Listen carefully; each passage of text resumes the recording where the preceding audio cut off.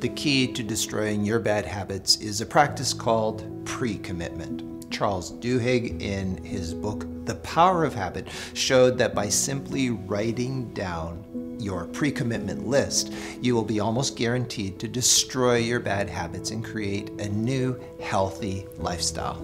So, say you are going shopping and you don't want to come home with unhealthy food. So, you write a pre commitment list of the healthy food you want. And by sticking to that list, you won't be tempted to go down the wrong aisles where the unhealthy snacks are. The Bible records a prophet's pre commitment. Daniel purposed in his heart that he would not defile himself with the portion of the king's delicacies, nor with the wine which he drank. The prophet Daniel made a pre commitment to eat clean, only vegetables and water, and not to eat unclean Babylonian food and wine. Why?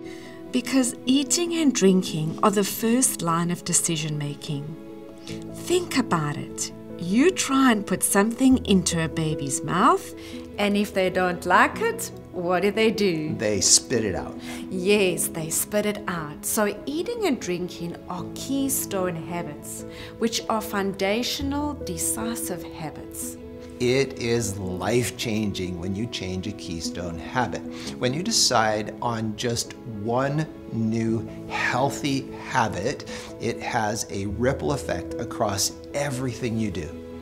When people decide to eat better, they tend to also start exercising and becoming more productive at work.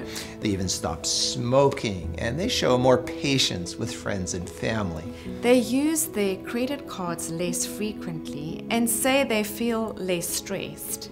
Eating better triggers widespread change, so success doesn't depend on getting everything right, but instead on identifying the baby steps, the key decisions, and prioritizing those habits so they become powerful levers. After three years of higher education, eating food that today is recognized as allowing for the highest optimal brain functioning, the Bible records in every matter of wisdom and understanding about which the king questioned them, he found them ten times better than all the magicians and enchanters in his whole kingdom.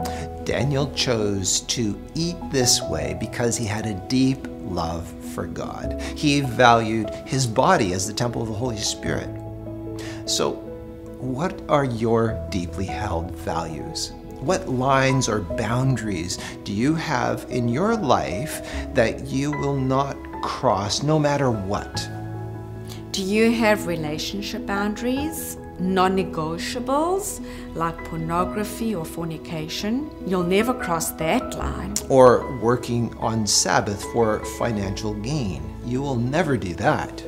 Are there things you will never eat or drink, like alcohol or drugs, or the unclean foods mentioned in the Bible, or excess refined sugar, or even meat? Do you have a bad habit or bad habits that you want to destroy with the help of God?